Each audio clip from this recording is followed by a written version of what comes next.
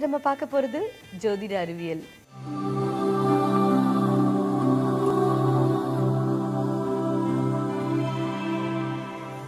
பெண் நிகழ்ச்சியில் ஒவ்வொரு நாளும் நம்ம ஜோதிடம் மற்றும் ஆ- ஆன்மீகம் விஷயங்கள் வந்து பேசிகிட்டு இருக்கோம். இப்போ ரா- ராசிகள் பற்றி நம்ம பேசுகிறோம் நட்சத்திரங்கள் பற்றி பேசுகிறோம் கிரகங்கள் பற்றி நிறைய விஷயங்கள் பேசுகிறோம் இந்த பயிற்சிகள் வரும்பொழுது என்னென்ன செய்யணும் அப்படிங்கிறத பற்றியும் நம்ம நிறைய விஷயங்கள் வந்து நம்ம பேசியிருக்கோம். நம்மளுடைய காலத்திற்கு ஏற்ப நம்ம வந்து ஜாதகத்தை நம்ம பயன்படுத்துகிறோமா அப்படின்னா இன்றைக்கு நம்ம ஜாதகம் வந்து பார்க்கணும் அப்படின்னு ஆசைப்படுறோம். ஆனால் ஜாதகத்தை பார்க்கும் பொழுது எத்தனை வந்து தவறான விஷயங்களை நம்ம மேற்கொள்கிறோம் அப்படிங்கிறத பற்றி தான் இன்றைக்கி நம்ம பேச போகிறோம் இப்போ தவறான விஷயங்கள் அப்படின்னு சொல்லும் பொழுது முதல்ல நம்ம என்ன தெரிஞ்சுக்கணும் அப்படின்னு சொன்னால் இப்போ வந்து ஒரு நாற்பது வருடத்திற்கு முன்னால் நம்ம பார்த்த ஒரு ஜாதகமும் இன்னைக்கு அளவில் நம்ம பார்க்கக்கூடிய ஜாதகத்திற்கும் நம்ம நிறைய வித்தியாசங்கள் உண்டு. என்ன அப்படின்னு கேட்டால் கிரகங்களினுடைய அமைப்பே வந்து வித்தியாசப்படுகின்றது. ஒரு இத்தனை க- இத்தனை அமாவாசைகள் அதாவது சாஸ்திரங்களில் சொல்லப்பட்டு இருக்கிறது வந்து ஆயிரம் அமாவாசை ஆயிரம் பௌர்ணமி அப்படிங்கிறது தான். ஸோ ஒரு ஆயிரம் அமாவாசையும் ஒரு ஆயிரம் பௌர்ணமியும் தாண்டும் பொழுது என் அதாவது கா அந்த லாட்டிடியூட் லாங்கிடியூட் எல்லாமே வந்து மாறுது. இப்போ நம்ம வந்து சொல்கிறோம் இல்லையா பூமி வந்து சூடாகுது குளோபல் வார்மிங் இதை பற்றியெல்லாம் நம்ம நிறைய பேசுகிறோம் இல்லையா? இதுக்கும் ஜாதகத்துக்குமே வந்து சம்பந்தம் உண்டு. எப்படி அப்படின்னா இப்போ ஒரு சனி பெயர்ச்சி ஏற்படுகிறது ராகு கேத்து பெயர்ச்சி வருது அதே மாதிரி குரு பெயர்ச்சி வருது. இப்படி கிரகங்கள் வந்து பெயர்ச்சியானா வருடா வருடம் குரு பெயர்ச்சி வந்து கொண்டு தான் இருக்கிறது.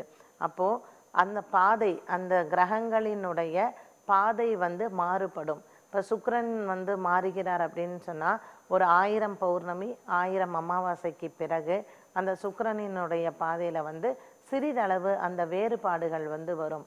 அப்படி கிரகங்களினுடைய அந்த அதனுடைய பாதையில் வேறுபாடுகள் வரும் பொழுதுதான் உலகத்தில் ஒவ்வொரு இடத்துலையும் பூகம்பம் வருவதோ அல்லது சுனாமி வருவதோ பெரிய வெள்ளப்பெருக்கு வருவது அதே மாதிரி நிறைய இந்த புயல் எல்லாம் வருது இல்லையா? ஒவ்வொரு புயலுக்கும் ஒவ்வொரு பேர் வேற சொல்கிறாங்கல்ல இந்த மாதிரியான இயற்கை சீற்றங்கள் வருவதற்கு காரணங்கள் வந்து கிரகங்களினுடைய பாதை மாறும் பொழுது தான் அப்போது இந்த விஷயங்கள் இவ்வளோ மாறும் பொழுது நம்ம வந்து பொதுவாக இந்த ஜாதகம் பார்க்கும் பொழுது அதுவும் திருமண விஷயங்களில் பொருத்தம் பார்க்கும் பொழுது நம்ம வந்து நம்மளை இன்னும் மாற்றிக்கவே இல்லை.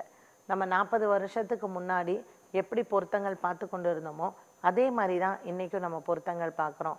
இன்றைக்கி வந்து கிரகங்கள் ஒரு ஜாதகம் எடுத்துக்கொண்டீங்கன்னா ஒரு ரெண்டாயிரத்தி பதினேழில் பிறக்கிற ஒரு குழந்தை அதே மாதிரி ஒரு பதினேழு வருஷம் முன்னாடி ரெண்டாயிரத்தில் பிறந்த ஒரு ஜாதகம் அதுக்கு முன்னாடி ஒரு இருபது வருஷம் முன்னாடி பிறந்த ஜாதகம் இப்படி நீங்கள் வந்து எடுத்து பார்த்தீங்கன்னா உங்கள் வீட்டிலேயே இருக்கும் இல்லையா ஜாதகங்கள்லாம்? நீங்கள் எடுத்து பாருங்கள் தோஷங்கள் இருக்கக்கூடிய ஜாதகங்கள் வந்து நாற்பது வருடங்களுக்கு முன்னால் குறைவாக இருந்தது. இன்னைக்கு புத்திர தோஷ ஜாதகம் நிறையா இருக்குது அதாவது வம்ச விருத்தி இல்லாமல் இருக்கக்கூடிய ஜாதக அமைப்பே ஜாதகத்திலேயே குழந்தைங்க பிறக்கும் பொழுதே அமைப்பு அப்படித்தான் இருக்குது அதே மாதிரி களத்திர தோஷ ஜாதகம் களத்திர தோஷம் அப்படிங்கிறது வந்து ஏழாம் ஒரு ஒரு பெண்ணுக்கு வந்து திருமணம் செய்கிறதோ இல்லை ஒரு ஆணுக்கு வந்து திருமணம் செய்யக்கூடிய அந்த அமைப்பை வந்து களத்திரம் அப்படின்னு சொல்கிறோம் அது தோஷமாகிறது. அப்போ வரக்கூடிய நாட்களில் இன்னும் கலிகாலம் இன்னும் காலங்கள் வர வர திருமணமாவது கடினமாக இருக்கும். குழந்தை பிறப்பது அதைவிட கடினமாக இருக்கும்.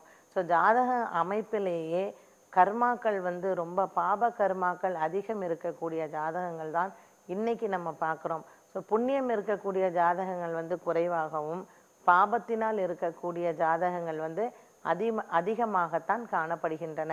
அதுவும் ஒரு இருபது வருடம் நாற்பது வருடம் இப்படி வருடங்களுக்கு முன்னால் இருக்கக்கூடிய ஜாதகங்கள்லாம் எடுத்து பார்த்தீங்கன்னா நமக்கே வந்து வித்தியாசங்கள் தெரியும். ஸோ இன்னைக்கு வந்து ஒரு புத்திர தோஷ ஜாதகம் நமக்கே தெரியும். ஃபர்டிலிட்டி சென்டர்ஸ் ஒரு குழந்தை பிறக்கிறதுக்காக எத்தனை சுகாதார அமைப்புகள் வந்து வெளியில் வந்து இருக்குது இயற்கை முறையில் குழந்தை பிறக்கிறது அப்படிங்கிறது குறைந்து போய் மருத்துவ முறையில் குழந்தை பிறக்கிறது தான் இன்றைக்கி அதிகம் இருக்குது ஜாதகத்துலேயுமே பார்த்தீங்கன்னா புத்திர தோஷ ஜாதகங்கள் அதிகமாக இருக்குது அதே மாதிரி திருமண விஷயத்தில் வயது வித்தியாசங்கள் ரொம்ப ரொம்ப இதில் வந்து ஒரு பெண்ணுக்கு வந்து வயது அதிகமாகவும் ஆணுக்கு வயது குறைவாகவும் இருக்கக்கூடிய திருமணங்கள் அதிகரிக்கலாம். இன்னும் வரக்கூடிய நாட்களில் இது அதிகம் இருக்கலாம். அதே மாதிரி திருமணங்கள் ஒன் ஒரு முறை அது வந்து டிவோர்ஸ் ஆகியோ இல்லை வந்து அந்த ஒரு திருமணம் வந்து முடிந்து இரண்டாவது திருமணம் மூன்றாவது திருமணம் இப்படி திருமண விஷயத்தில் அதிகமாக தோஷங்கள் இருக்கக்கூடிய ஜாதகம் வந்து இன்றளவில் அதிகம் வந்து காணப்படுகிறது. இதற்கெல்லாம் என்ன காரணங்கள் அப்படின்னு கேட்டால் நம்ம வாழக்கூடிய வாழ்க்கையில் நம்ம செய்யக்கூடிய பாவங்கள் அதிகமாக இருக்குது புண்ணியங்கள் வந்து குறைவாக இருக்குது அப்போ இதுக்கெல்லாம் பரிகாரங்கள் அப்படிங்கிறத விட பிராயச்சித்தங்கள் தான் நம்ம அதிகம் செய்யணும். பய பண்ணக்கூடிய இனிமே வரக்கூடிய சந்ததியினருக்கு இந்த மாதிரி இருக்கக்கூடாது அப்படின்னு சொன்னால் நம்ம ஏற்கனவே நம்மளுடைய முன்னோர்கள் செய்த பாவங்களும் நாம செய்துக்கிட்டு இருக்கிற பாவங்களுக்கும் பிராயச்சித்தங்கள் தான் நம்ம அதிகம் செய்யணும். புண்ணியத்தை அப்போ அந்த பிராயச்சித்தங்களுக்கு என்ன பரிகாரங்கள்னால் என்ன அப்படின்னா பிராயச்சித்தங்கள் வந்து நிறைய தானங்கள் செய்யணும். என்னென்ன பாவத்திற்கு என்னென்ன தானம் அப்படின்னு சொல்கிறது வேதங்களில் வந்து சொல்லியிருக்காங்க. அதே மாதிரி பரிகாரங்கள் வந்து கிரகங்களுக்கு எப்படி செய்ய வேண்டும் எப்பொழுது செய்ய வேண்டும் யார் மூலமாக அது செய்ய வேண்டும் இது மூன்றுமே சாஸ்திரங்களில் வந்து சொல்லப்பட்டிருக்கிறது.